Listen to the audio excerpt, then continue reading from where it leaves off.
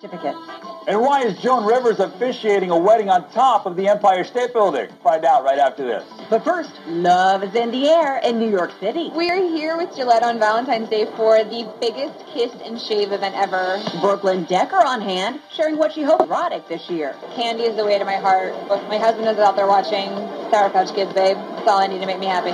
Baltimore Raven and Super Bowl winner Ray Rice always has a perfect Valentine. My mom's my Valentine for a lot of years. Now, you know, the roles have reversed a little bit, and I get to give back to her. Shaving to the chest and the world's largest shave and kiss event. I like the look of stubble, but I like the feel of a clean shave because no girl wants to be like pricked and stabbed when they're kissing a guy. So the results for Gillette's Kiss and Tell experiment? 85% of women prefer a clean shave, so Gillette is helping these guys get silky smooth for Valentine's Day.